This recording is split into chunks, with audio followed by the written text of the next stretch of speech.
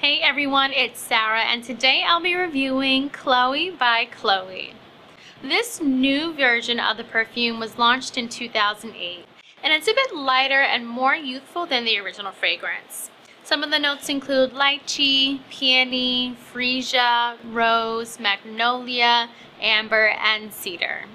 This lovely floral scent is sweet, delicate, and absolutely feminine. It's soft enough to wear for daytime, and I would recommend wearing it for your romantic occasions. Alright everyone, that's all for today. If you want to see more reviews on your favorite products, be sure to subscribe to our YouTube channel, and be sure to check us out on Instagram, Facebook, and Twitter.